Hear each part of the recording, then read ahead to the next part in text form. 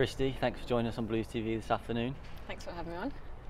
So you got injured in pre-season, and it's kind of been a, a long road for a, back from recovery for you. How does it feel now to finally be back on the pitch with the girls? Yeah, it's great. It feels like a long time since obviously I've been back fully. So the last couple of weeks has been brilliant just to kind of be in with the squad, and I'm obviously looking forward to the girls coming back off international so I can be with everybody, the full team, and like build into obviously Reading uh, next week. And when you've got a new manager and new players, and then you do get that injury, how frustrating is it for for you, the knowing that you you don't get that playing time with them straight away? Yeah, it's really frustrating. I think obviously, like you said, there's a whole new team in terms of staff and and playing staff. So it's been really frustrating not to be involved at the start, um, especially when Scott's trying to embed kind of his philosophy and how he wants us to play. So, but I'm obviously back now and I'm excited to kind of get going. And how has it been working under Scott? I know you've briefly worked with him at Glasgow City, but mm. now working with him on a longer term basis, how, how have you found it so far? Yeah, I think it's been really good. Obviously, we've got, again, like I said, we've got a whole new squad, so it's taken time for us to kind of all, all knit together.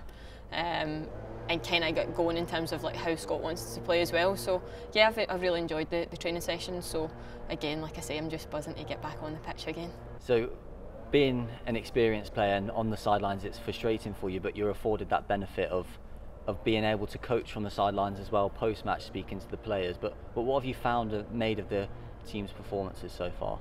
I think as this kind of season's gone on, um, as a group we've kind of kind of knitted together, um, and you can see like the progression on the pitch. Like we're working hard, we're more organised, and I think that just comes with time. So for me, it's obviously given me an opportunity to watch all my new teammates, see how they play, and and try and use that when I come back into the pitch again and learn how they where they want the ball and and how that kind of goes. But I think in terms of like performances, I think they've grown um, each game, and I hope that that continues going into obviously the second half. And, and I know with Scott, you've got a leadership group. How important is it to have to have those leaders in the team. And even like yourself when you're on the sideline you're still a part of that group and still able to lead the team. Yeah i think it's important but i think every player in the team can be a leader in terms of like how they are on and off the pitch um, helping each other. And for me that's that's a massive thing.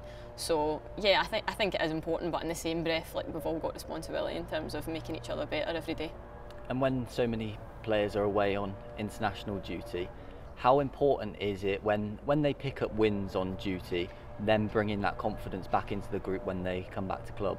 It's, it's great. I think when you uh, personally being there myself, like when you come off obviously the back of a few good wins, like you feel good and you want to bring that like positive energy into the group. So I'm looking forward to obviously having the girls back and and that helping us give us a little lift and obviously um, the friendly on Sunday and then in the game next week.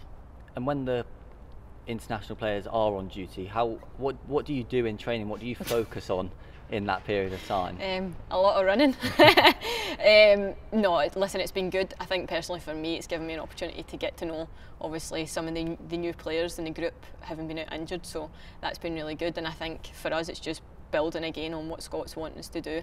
Um, as a team, so it'll be great to have everyone back to again, obviously, just add more layers to that because of the time where you picked up your injury, you're in a unique position still after being here for a year and a half that you've not actually played in front of the fans yet. Know. That must be something that you're looking forward to. I know you have a good relationship with the fans on social media, so mm. you must be excited to get in front of them again. Yeah, I think our fans have been brilliant, especially last year during obviously COVID and things like that. So I'm excited to play at St Andrews, um, play in front of obviously a home crowd, and hopefully have my family come to watch at some point because they've not seen me play for Blues yet. So, um, so that'll be nice and looking ahead, we've got a, a, good run of fixtures coming up. We've got mm-hmm. Red, and then obviously into the Second City Derby. Mm-hmm. How are the team looking going into those fixtures? I think op- optimistic. I think we just need to continue building on the performances that we've done um, and focusing on ourselves and taking, literally, as cliche as it sounds, taking the first one and then building on that um, and not looking too far ahead. Thanks for joining us, Christie. Good luck for the rest of the season. Thank you.